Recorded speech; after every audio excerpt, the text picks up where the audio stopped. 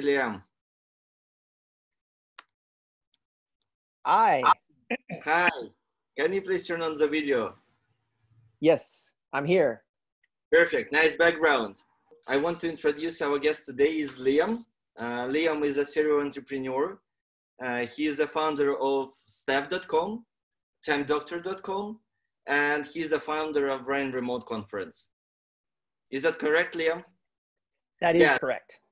Yeah, and moreover, Liam is a one long remote uh, advocate. So it's the person who started remote more than 10 years ago. And he is like really famous in the remote world. So I want to start actually with, uh, uh, as I mentioned, you're the founder of staff.com, timedoctor.com, and Running Remote Conference. And mm-hmm. I, I, want to start from the beginning. So as far as I understood, the first company was staff.com. Is that correct? No, it was actually timedoctor.com. It came out of me being in grad school and I was running a tutoring company that was remote. And the problem that I had was I couldn't equate for how long a tutor worked with a student. And then I would end up having students that would ask for refunds on build time with tutors. So Time Doctor was born out of that to be able to measure how long a tutor worked with a student when they worked remotely. And that just boiled into a whole bunch of different verticals, particularly in the remote workspace. Cool, super. So I will start with it, start my questions with the timedoctor.com. So sure. it was established in 2000. It's a uh, I just want to mention it's a founder for founder stand up. So I, I will mostly ask like business questions. And if you can share your experience, it would be great. Maybe it would help someone, uh, help our listeners. So uh, Time Doctor was established as, as far as I know in 2012. And by the time it yes. was Toggl on the scene from 2006, RescueTime from 2008, and Hubstaff from 2011. So you basically hmm entered very mature market. What did you do then? Hmm. Uh, boy, yeah, that, I never really thought of it in, in that context. Um, uh, we're bigger than all those companies now. so, I mean, I think there was an opportunity to kind of see where that space was and, and recognize that there was a solution um, that we could that we could really work on. But uh, I think that all markets now are honestly mature. I think that like even when we're talking about remote work, which is something that is going to be like we've just had a nuclear bomb go off in terms of the remote workspace. We've gone from 4% in 2018 of Americans working full-time remotely, quote unquote, to by our estimates 60% of the month of April. So complete shift.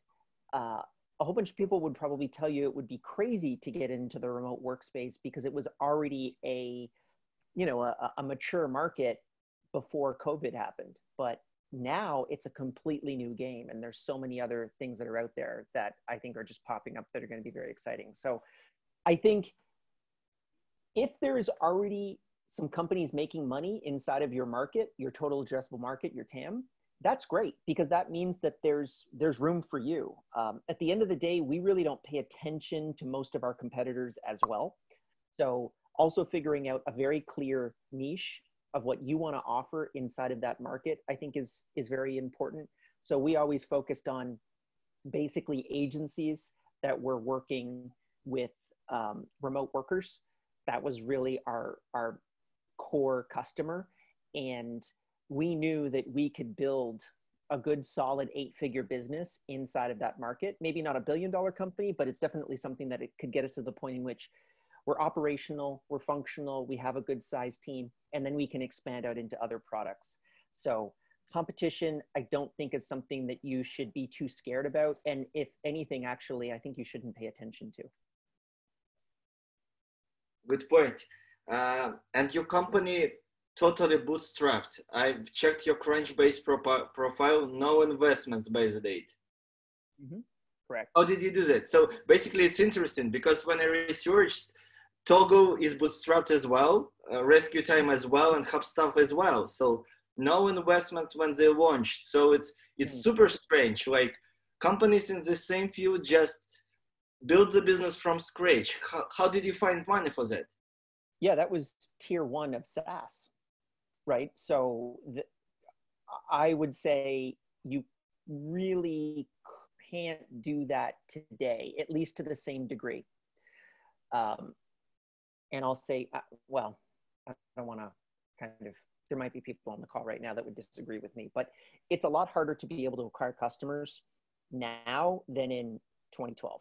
Uh, like I could buy a customer for probably one tenth of the cost on a Facebook ad that I can today.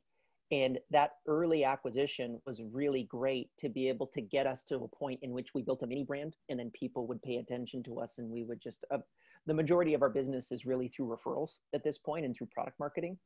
So uh, it's, um, you could bootstrap at that point. I would say if you were to build the same type of company that we, we've currently built now, very difficult to do it without at least half a million, a million bucks. And to be able to say that we're entirely bootstrapped is a little bit disingenuous because both me and Rob both had capital to be able to invest. So we had um, probably invested about a hundred thousand dollars into the business to be able to get it operational and at least make it cash neutral. I've listened to your interview about SaaS business, and uh, during that, it was actually not interview; it was just a video and you told that uh, you've been on a free beta for almost nine months, from eight to nine months. And I believe you, you have spent some time building the product, so about three or four or five months, I'm not sure. So for 12 months, uh, you, you, you didn't get money at all. Is that correct? Yeah, horrible mistake. Bad mistake. Don't do that under any circumstances whatsoever. We got the wrong feedback. The reason why I would suggest that no one have a free beta is because you'll get feedback, but it will bring you in the opposite direction from the feedback that you want. What you really want is hate mail. You want people to email you saying, I hate your product and I'm unsubscribing from your product. Please give me a refund. And then once you get that email, ask them why and just give them back all of their money. Do whatever it takes to be able to get the feedback because that's what you critically need. With a free beta, you'll have a whole bunch of people that will use it but then no one will actually giving you give you meaningful feedback because they won't use it passionately. When someone is paying for something that's that's when they'll they'll give you meaningful feedback uh, which was a lesson that i had to unfortunately learn the hard way so basically you have spent like your own money for almost a year or more than a year and then you decided to switch to the paid version and then you understood where to develop how to develop the product. Yeah so uh, when we had we had i believe we made 6000 mrr the first month that we went from free to paid.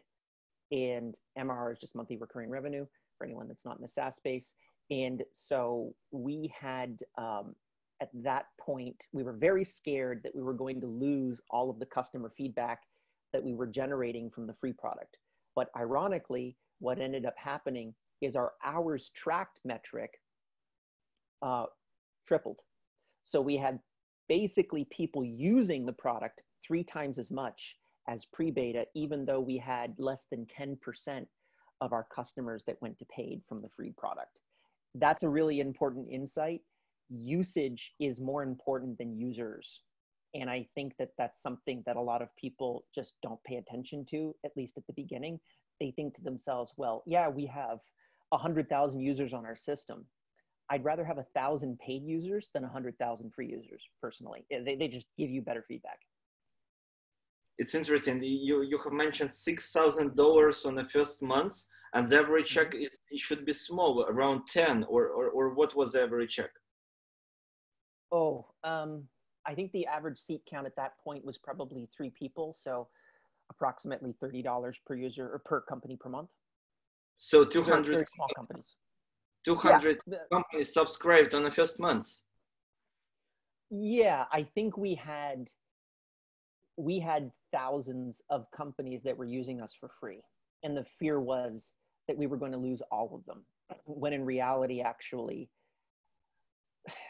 so what I would suggest that you do if you're going to build product now is tell people I'm going to pay you a dollar, pay me a dollar for the free beta.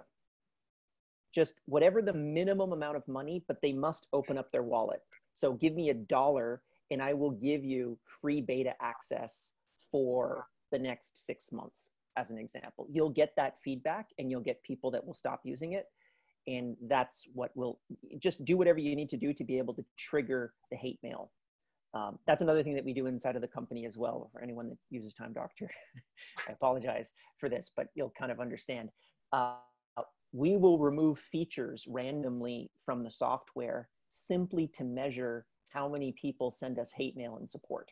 So if we have a feature like we used to have a project management feature inside of Time Doctor, and we didn't remove the feature, but we removed access on our toolbar for that feature. So we just deleted that link on our UI and we measured how many people would send us really angry letters saying, Hey, what happened to this feature? And we got six emails out of 6,000 clients. so we realized, oh, this is not something that we should invest more energy into because people say, like, if you give someone, if you ask someone for a feature edition, everyone will say yes, they want it. No one will say like if i said i would uh, like to add a purple elephant icon optimizer in the top left hand corner of my ui people will say oh that sounds good. Yeah i'll have that but how many people are willing to pay for it and how many people are actually going to use it effectively to be able to either expand your revenue or reduce your churn rate that's what you need to be able to focus on so randomly removing those features and getting that emotional state from people saying, why did you take this feature? I was using it every day is absolutely critical in my opinion. Wow. Wow, it's interesting. I have to implement the, the same. Uh, I want to move to the next section um, from business to mainly to the team. And uh, I want to share the screen. Uh, I want to share the screen with your LinkedIn page. Okay. And as I see, uh, Time Doctor team is all around the world. So it's like Time Doctor uh, people who work in. It's from Philippines, India, United States, Canada, Philippines as well. I don't know what is region seven. Argentina, Canada, Nigeria, Australia, Colombia, Pakistan, Melbourne, Australia. How do you manage that? So what's the strategy? So basically you mentioned that you have started the first company, it was totally remote. But as i see time doctor is like it's quite a big company. You are able to hire like employees in canada i believe or i don't know or in on the united states.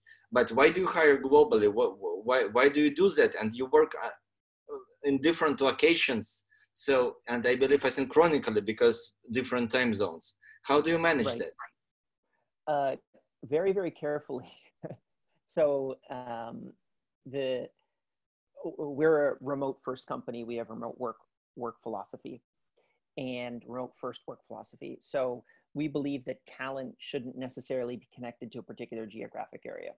Um, so that's that's our generalized thesis. Um, in terms of managing that talent, realistically, if you have one to two hours of of overlap time in terms of being able to to communicate synchronously, you can work with anyone, anywhere. Um, boils down to very clear communication. So understanding that you have good communication processes in place, or you're reporting that information back to your direct reports well, and then secondarily process documentation. Uh, so you need to be able to take all of the processes that you have inside of your company, and you need to be able to digitize them and put them up on some type of a cloud service to be able to um, to allow all of your employees to have access to that information effectively so that they can manage themselves as opposed to you managing them. A fantastic example is if you go to about.gitlab.com slash handbook, uh, GitLab has all of their processes and their remote first company online and for free. And you can literally just do a, um, you can do your own repo of that document and edit it for your own purposes and use it. So those are the two critical parts, communication, documentation. If you've got those, then you can manage remote teams without any problem.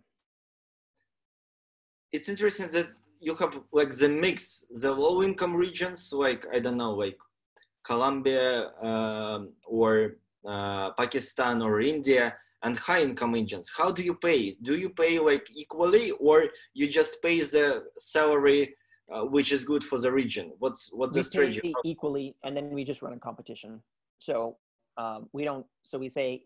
So we set the salary, and we don't set the geography. So, like as an example, let's say that we have uh, sixty thousand dollars to pay for a developer, or seven. Let's call it seventy thousand. Actually, that would probably be a more realistic salary band that we would pay uh, for a developer. Well, then we just look at look everywhere. So we probably wouldn't be able to afford San Francisco or New York, but we would be able to afford the Midwest United States, parts of Canada.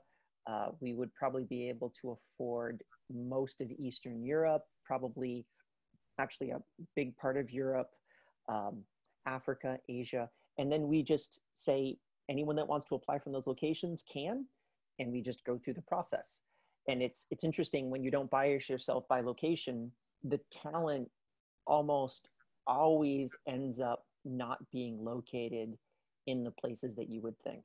And we have employees inside of the company that are paid hundreds of thousands of dollars per year because that was the requirement that we had and we couldn't find that talent for a lower price point. And then we have people that are paid tens of thousands of dollars per year um, because that was the price that was effective for us to be able to accomplish the task.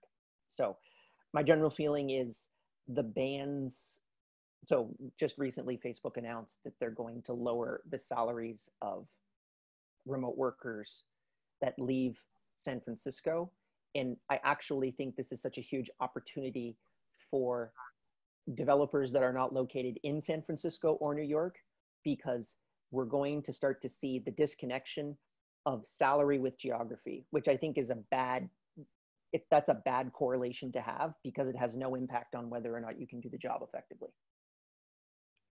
Interesting. And I just want to drill down. Uh, I will share the second screen. So it's uh, the location of time doctor engineers that I found that I just found find out from the LinkedIn. So okay five engineers from staff.com. I don't know if that correct or not. It's Ukraine, Egypt, Sri Lanka, Turkey, and three engineers from uh, Time Doctor, uh, and, it's from India and Pakistan. Uh, yeah, probably you... pretty old.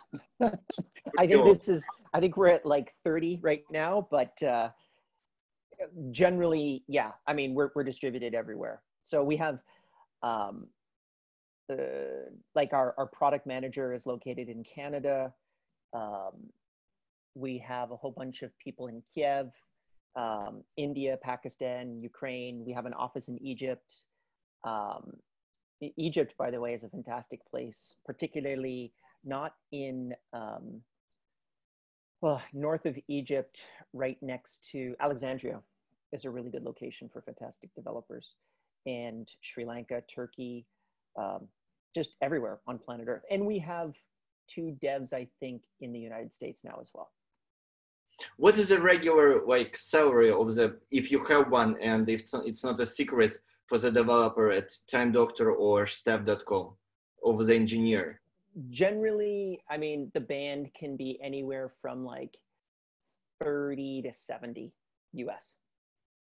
So 30 to 70 US dollars per year. 30 to 70,000 US per year. US dollars per year. Okay. US dollars, yeah.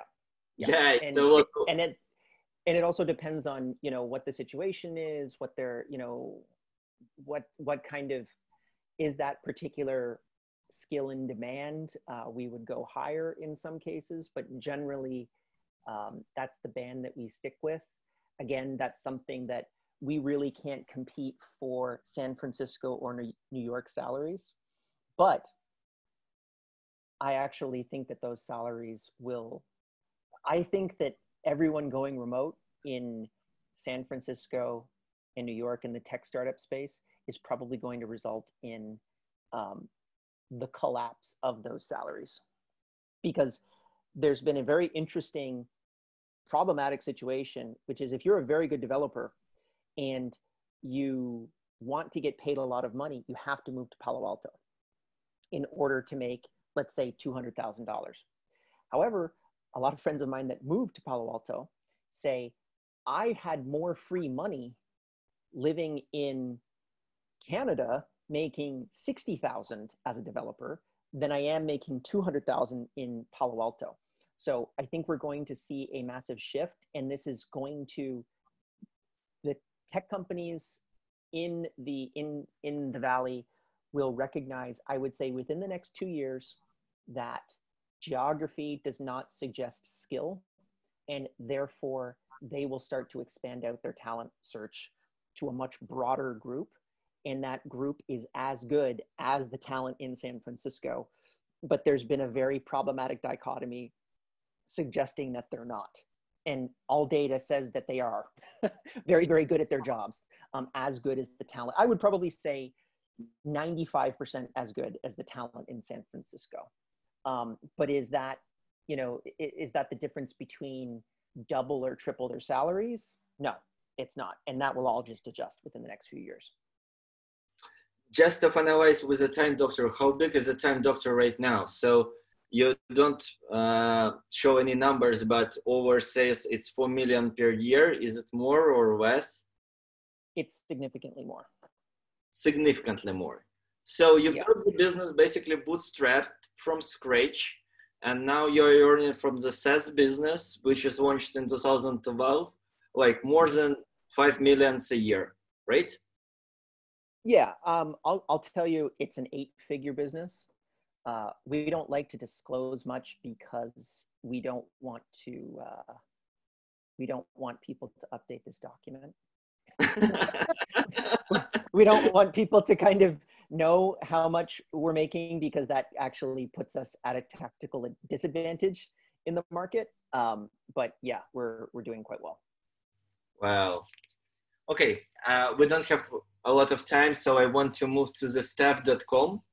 Uh, when you go to the staff.com right now, it's just redirected to the timedoctor.com, but I know that it was like two-sided marketplace for the remote workers. Can you just yes. tell us more and what happened to the staff.com? Complete failure. Um, I can break I can break it down very simply. Uh, we so we were running a platform kind of like TopTal, but we were providing the same services that TopTal is currently providing, um, but we were running an Upwork model, which is a bad thing to have. Inside of a two sided marketplace, it's really important that the individual is not as important as the service. So when I get an Uber, I don't care that it's Andrew from Uber. I just care that it's an Uber and what we were doing is we were taking a percentage. So we were taking 15% of um, an employee's salary. And we were putting in a very focused recruitment process into that model. So we were spending a ton of energy trying to find the right person for you, you know, spending in essence thousands and thousands of dollars in terms of labor on our end to be able to make that connection with that person and the business first year was doing about 86,000 MRR. Uh, by year two, we were doing about 110,000 and we had 11% monthly churn inside of the business. And whenever I would call up customers about their churn, they would give me a whole bunch of excuses, which wasn't the real one, which was they were poaching that person directly out from underneath us. So they were taking that 15% cut. They basically said, let's work directly together. And so we realized that that was the wrong model and um, it just wasn't something that we would need a lot more capital in order to take it to eight figures as an example as a business so we decided to um, to can it so time doctor highly successful uh, staff.com is still $100000 per month as an mrr but you decided to close it yeah and it was also in conjunction with looking at Time Doctor, uh, Time Doctor was growing like clockwork. And it was a SaaS business. So it's software instead of people. And I mean, you guys know at Six Nomads that like there's various problems managing people versus software. So we realized strategically it just wasn't our time, and it was the it was really bad timing. And the core problem that we had inside of that business model is we did not recognize that a two-sided marketplace should not exist as a continuous relationship with a singular individual. And if you're going to run a two-sided marketplace like that, then you need to get that money up front in order for the model to work properly. Just to sum up with uh, staff.com, what's the biggest mistake did you make with uh, with uh, that product and what's what's the... secret churn? So poaching. Um, people will generally not tell you the real reason why they're quitting and you need to have some deeper conversations with them in order to really understand why they're quitting your service so anyone anytime anyone quits the product particularly in the early days of a saas business or any business that's a recurring model do whatever it takes to get them on the phone for 15 minutes and talk with you. So we have a very easy way of offboarding people. We ask this critical question. What could we have done to have kept your business? And because I'm stating it in the past tense, it lowers their defenses because they think, oh, well, I don't want to get on a call with Liam because he's going to try to get me to use the software again. And that's really not my intent. My intent is to be able to figure out what was the real reason why you quit. And the initial reason why you gave may not actually be the real reason. It may be a lot more complicated than that. And then once I understand that, then I can add that inside of all of our churn reasoning. So we categorize all of our churn and then break down, hey, you know what? It looks like if we add a payroll feature inside of Time Doctor, it's definitely going to reduce our churn by 10% as an example. And this is going to be worth X amount of millions of dollars within the next 12 months if we do it. Okay.